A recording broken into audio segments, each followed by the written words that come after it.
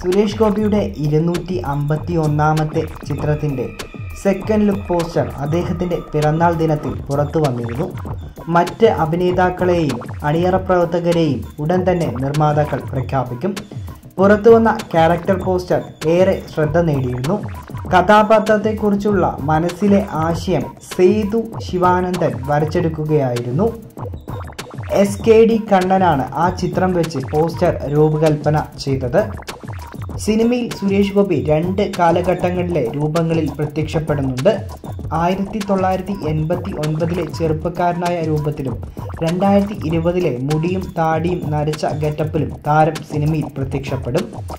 സേതു ശിവാനന്ദൻ പുതിയ ക്യാരക്ടർ പോസ്റ്ററുകൾ പുറത്തുവിട്ടു.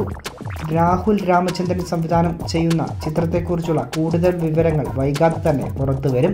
എതിറിയൽ എന്റർടൈൻമെന്റ്സ് നിർമ്മിക്കുന്ന ചിത്രത്തിന്റെ രചന നിർവഹിച്ചിരിക്കുന്നത് സമീൻ സലീം ആണ്. ഓഗസ്റ്റ് സിനിമാസാണ് വിതരണം.